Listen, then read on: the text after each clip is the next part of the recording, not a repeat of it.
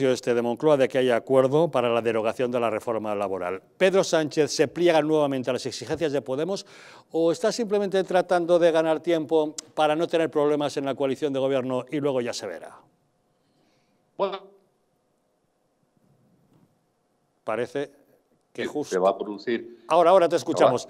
Eh, eh, empieza de nuevo, por favor, que habíamos perdido la comunicación contigo. Cuéntanos. No, sí, te comentaba, Javier, que que yo creo que es eh, un poco paripé, ¿no? Es un acuerdo paripé en el sentido de que, claro, derogación, derogación como tal no va a haber. Derogación significaría, o sea, lo que va a haber es que eh, la, cuando se dicte la nueva, la nueva legislación, pues se dirá que queda derogada la ley eh, tal, ¿no? bueno, y eso más o menos va a significar que queda derogada, pero para que estuviera derogada tenía que ser que se eliminaran absolutamente todos los preceptos y es evidente que muchos de ellos no se van a eliminar porque así ha sido trasladado a Bruselas y porque, bueno, por ejemplo, el tema de los ERTE que tanto ha utilizado la señora Yolanda Díez, pues eh, es, obvio que es algo que consideran que es útil y que por tanto lo van a mantener. Por tanto, es un acuerdo, es un acuerdo, digamos, de que vamos a hacer lo que nos pide Bruselas, que es un arreglo cosmético de la legislación, pero vamos a decir que se deroga porque así de esa manera se salva un poco la imagen de Yolanda Díaz, que no puede quedar mal ni ante la dirigencia de Podemos, ni ante la gente suya de Izquierda Unida, ni por supuesto ante los votantes. Por tanto, es un arreglo puramente cosmético, pero que no es real. Pero Yolanda Díaz acepta este arreglo cosmético o, bueno, que vamos, se da perfecta cuenta de que no ha ganado la batalla si realmente no se va a derogar, que ella es lo que está exigiendo. Ella, ella lo que, sí, pero es como tantas otras cosas. Por ejemplo, el tema de la ley de alquileres.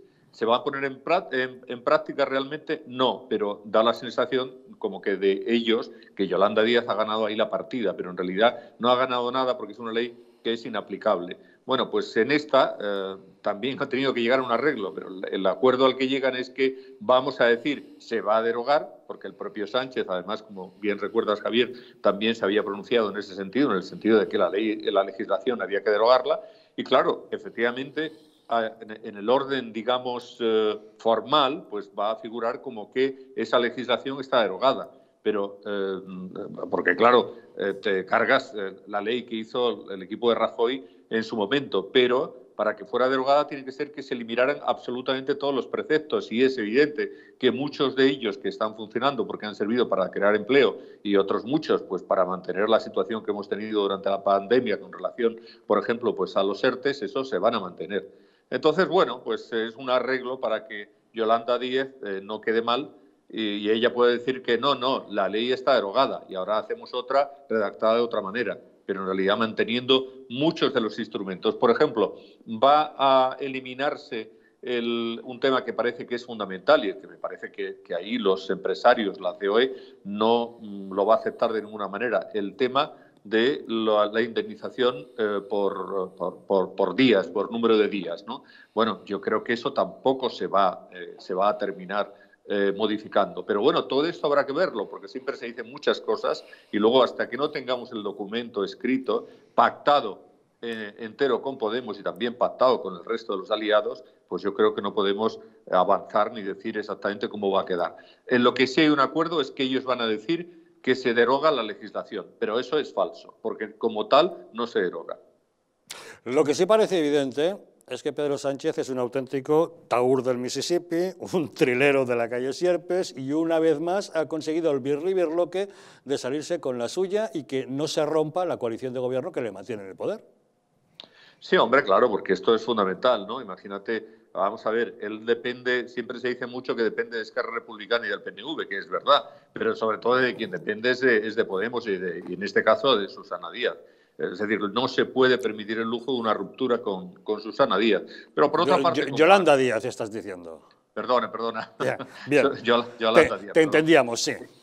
Sí, eh, pero él no se puede permitir esa ruptura con, con Yolanda Díaz eh, por mucho que efectivamente Yolanda Díaz esté en una situación eh, pues, eh, muy bien valorada en las encuestas y con una imagen muy potente. Pero no se puede permitir romper de ninguna manera y tampoco Yolanda Díaz se puede permitir romper. ¿Por qué? Pues porque su alianza con el resto o con, con, la totalidad de las fuerzas que forman en este momento la izquierda dentro, que se, dentro de eso que se llamaría el Frente Amplio, es decir, con eh, la gente de Rejón, con la gente de Izquierda Unida, con Podemos y con otros, los ecologistas, etcétera, eso tampoco está urdido, no se puede permitir el lujo de romper en este momento. Por tanto, necesariamente tenían que llegar a un acuerdo, han llegado a este acuerdo que es puramente, insisto, cosmético, evidentemente, claro que van a, derogar algunas cosas, van a, eliminar algunas cosas, pero la legislación entera como tal, que eso es lo que significaría la derogación eh, total de la legislación, eso no se va a producir.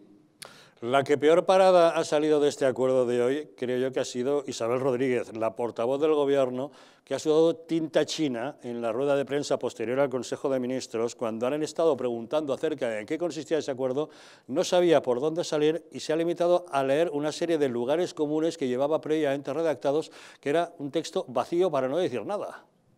Bueno, es que yo creo que la pobre mujer eh, lo que sabía es es lo que se sabe en realidad, porque me parece que al, único acuerdo que han llegado en realidad es al acuerdo de decir que la legislación se deroga. Los puntos que se van a derogar de verdad, eh, eso está por ver. Eh, eso estará por ver, porque entre otras cosas hay que someterlo a una negociación con los empresarios, porque Bruselas exige que haya un acuerdo con los empresarios.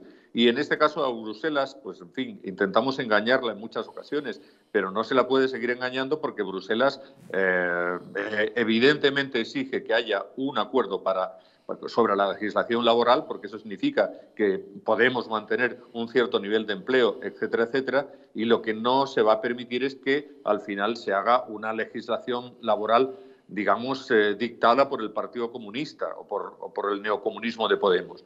Por tanto, tendrá que intentarse ese acuerdo, tiene que haber un acuerdo, y eh, en, ese sentido, al final, eh, yo creo que lo que quedará pues eh, será algo que será una mixtura de lo que había y alguna cosa que van a retirar, pero que no sabemos eh, qué es lo que es en realidad, porque así se explica el papel de la del gobierno. En realidad la mujer sabe lo que sabe, que es nada, es decir, simplemente que se ha decidido derogar la ley, es decir, decidido, se ha decidido decir que se deroga la legislación, pero no se sabe nada más, porque todo eso está por ver.